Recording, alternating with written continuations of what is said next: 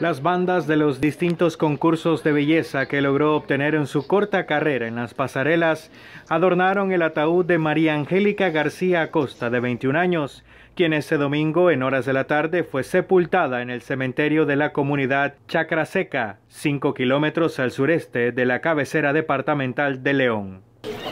Ya voy a pasar el quinto año de, graduación, entonces voy a, trabajar y para que usted ya no trabaje, me decía. está bien, pues le decía.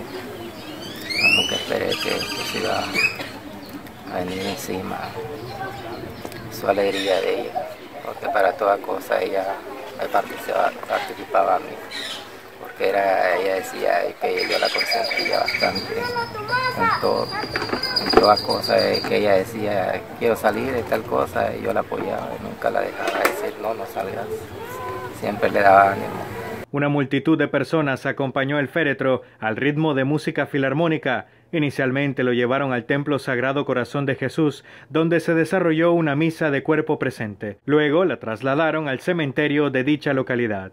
La jovencita permaneció ingresada por más de 30 horas en la unidad de cuidados intensivos en el hospital en Fonseca de Managua, tras sufrir un aparatoso accidente de tránsito a pocos metros de su propiedad en Chacraseca. García Acosta falleció este sábado a las 11.50 de la mañana a consecuencia de emiación cerebral, infarto cerebral biemisteria, fractura y politraumatismo.